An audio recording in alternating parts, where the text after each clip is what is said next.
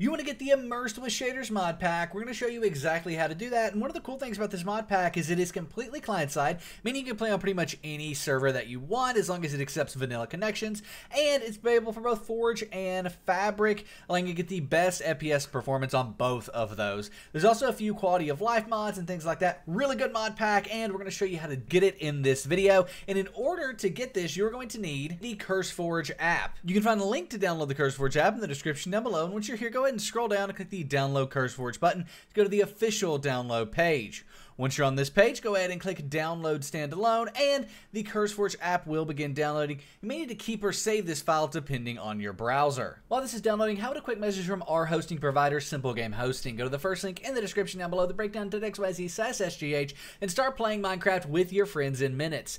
Now, you can use immerse shaders to play on any Minecraft server that accepts a vanilla connection. You can, of course, start one of those with Simple Game Hosting. But let's say you wanted to try another mod pack with your friends, like All the Mods 10 or Better Minecraft. Well, you can do that at Simple Game Hosting with just one click. There's also expert live chat support there to help you out along the way. So play Minecraft with your friends the simple way at the first link in the description down below, the breakdown.xyz SGH. With the CurseForge app downloaded, we can go ahead and minimize our browser. And what we want to do is find the file we downloaded, which in our case is going to be the downloads folder. It's this CurseForge Windows installer.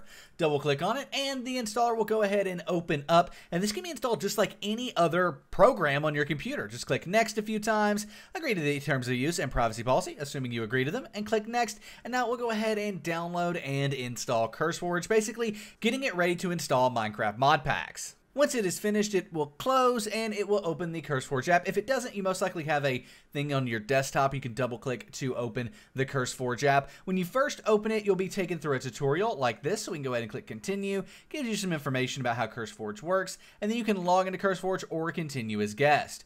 Once you've done that, you can go ahead and select Minecraft, and when you do, you'll have this standard or advanced. I recommend just clicking standard there and clicking continue. To do that, you'll want to search for, at the top, immersed with shaders and it will go ahead and pull it up right here right away. If for whatever reason it doesn't feel like it's correct, you can search for mod packs and make sure it's this one. Now, this mod pack is available for both NeoForge and Fabric. So if we go in here and go to versions by clicking on it, we can see both of those versions here. If you wanted the Fabric version, you would click install here. If you wanted the NeoForge version, you would click install here because you can see those different versions listed there. Nevertheless, if we go back to the My Mod Packs tab, it's now installing both of them and you can actually quickly see which one's which by the little icons that appear on them. You can see NeoForge here and Fabric there, allowing you to easily decide which one you want to play with depending on what kind of mods you might want to add to it or if you prefer one over the other. So we can see the Fabric one is now downloaded. Launching either of these is exactly the same. Just hover over it, click play, and then it will open up the Minecraft launcher. You will need to log into the Minecraft launcher, but that's okay. This is the default Minecraft launcher you always play Minecraft with. It's just launched through CurseForge.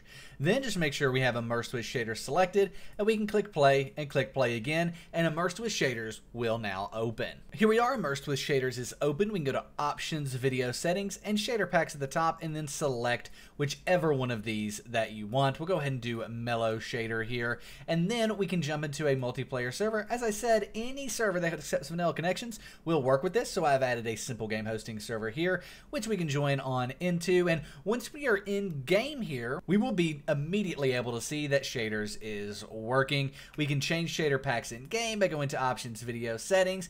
Let's change to uh, super duper vanilla shaders, for example. And yeah, you can switch between these all you want. Every shader pack is going to look a bit different. That's one of the cool things about something like this mod pack is it allows you to try a bunch of different shaders packs pretty easily.